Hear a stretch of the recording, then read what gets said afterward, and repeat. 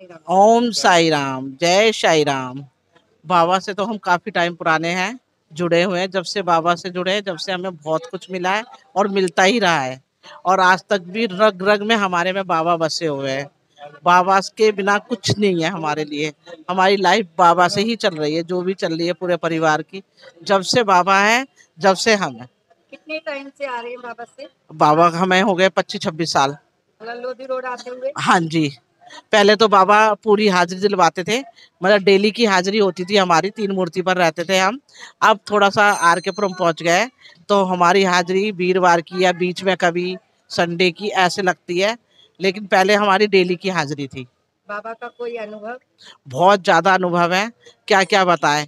मेरी दौरानी के बेटा हुआ डॉक्टरों ने कह दिया कि ये मतलब बच्चा में से या माँ में से दोनों में से एक बचेगा लेकिन सैन ध्रुव बाबा देखे मैंने सामने खड़े हुए।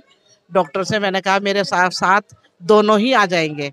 और बच्चा ये दो किलो सोलह ग्राम का हुआ और बच्चा है ना बिल्कुल ठीक ठाक माँ भी ठीक ठाक। अच्छा डॉक्टरों ने मना कर दिया था? बिल्कुल मना कर दिया था कि एक ही को बचा सकते हैं। लेकिन बाबा सैंद्रूप आके खड़े हो गए। हमारे सामने मैंने कहा अब मेरे बाबा आ गए अब सब कुछ ठीक हो जाएगा। डॉक्टर भी आज बिल्कुल साक्षात दर्शन दिए। नहीं हॉस्पिटल में जीवन माला में। हाँ वहाँ पे छोटे से बाबा थे लेकिन जहाँ मेरी देवरानी उस पे थी स्टेचर पे थी तो वहीं कोने पर आके बाबा सफ़ेद कपड़े में खड़े हुए थे साक्षात दर्शन दिए। मैं एक बार शिरडी गई, हमें कमरा नहीं मिल रहा था, लेकिन अचानक कोई बुज़ुर्ग आए और हमने कहा कि हमें कोई कमरा नहीं मिल रहा। उन्होंने कहा कि आओ तुम्हारे को कमरा दिलाते हैं। खिड़की बंद थी, सब कुछ बंद था, लेकिन हम जैसे मेरे को पकड़ के लेके गए, खिड़की बंद थी और मैं आज भी मेरे को अनुभव है पूरा कि हमने कैसे उस खिड़की में मैंने हाथ डाला और कैसे मैंने वो पेपर पे साइन करा, ये मुझे नहीं पता कमरा कब और कैसे मिल गया।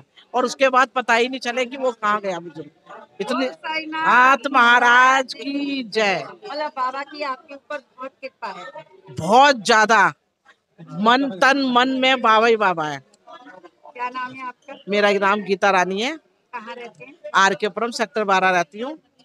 और साई राम के बाबा के नाम से ही मैं पहचानी जाती हूँ जहाँ भी जाती हूँ। साई राम आंटी साई राम दीदी बाबा ने इतना हमें कुछ दिया है कि अपना नाम से ही हमें पहचान दे दी। शिरडी जाते हैं? जाती हूँ।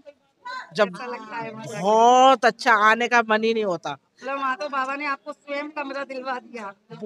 बहुत ऐसे हुए हमारे साथ में बहुत कुछ हो चुका बाबा के साथ। मतलब बहुत साक्षात बहुत ज़्यादा कह नहीं सकते।